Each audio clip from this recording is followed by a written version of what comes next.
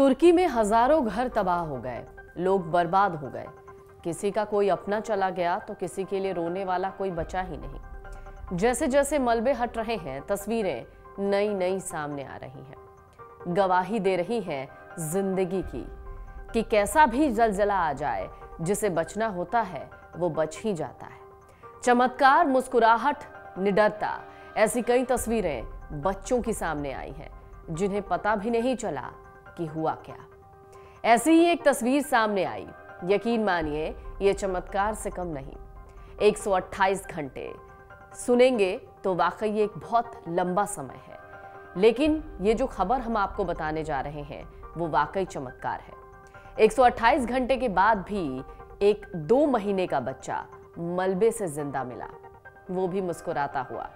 इसे कुदरत का करिश्मा ही मानना पड़ेगा कि तुर्की के हेते प्रोविंस में एक बच्चा अपने घर के मलबे के नीचे दबा रहा। वो भी 128 घंटे तक। और जब उसे 128 घंटे के बाद निकाला गया, यानी चार दिन के बाद तो वो जीवित मिला। इस बच्चे का वीडियो इस वक्त वायरल है, जिसमें वो उस व्यक्ति की उंगली चूस रहा है, जिसने उसे गोद में ले रखा है। इससे पहले एनडीआरएफ की टीम ने तुर्की में भूकंप प्रभावित क्षेत्र में मलबे में फंसी आठ साल की बच्ची को सुरक्षित बाहर निकाला था। उसका भी वीडियो सामने आया। इससे पहले तुर्की में राहत और बचाव के काम में जुटे एनडीआरएफ के जवानों ने तुर्की सेना के जवानों के साथ गांजिया टेप प्रांत के नूरदगी शहर में अभियान चलाया था। एनडीआरएफ के जवानों ने गुरुवार को इसी इलाके से उस बच्ची का रेस्क्यू किया।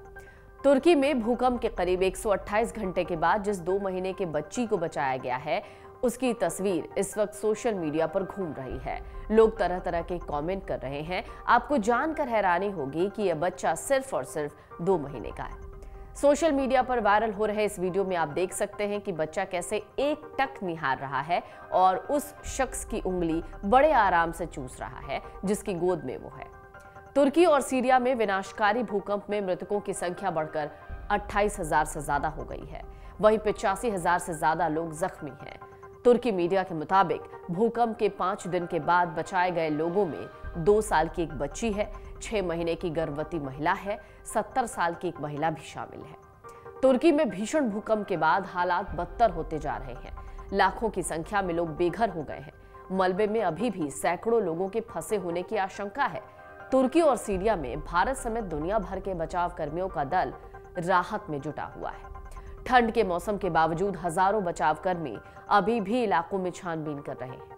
इस भीषण आपदा में लाखों की संख्या में लोग प्रभावित हुए हैं और उन्हें अब सहायता की सबसे ज़्यादा ज़रूरत है। प्रभावित लोगों को आश्रय स्थलों में पहुँचाया जा रहा है। भारत में तुर्की के राजदूत फिरात सुनेल ने ट्विटर पर भारतीय नागरिकों के ग्रुप को शुक्रिया कहा। जिन्होंने तुर्की के भूकंप पीड़ितों के लिए सौ कंबल दान में दिए। उन्होंने एक लेटर की तस्वीर जारी की है।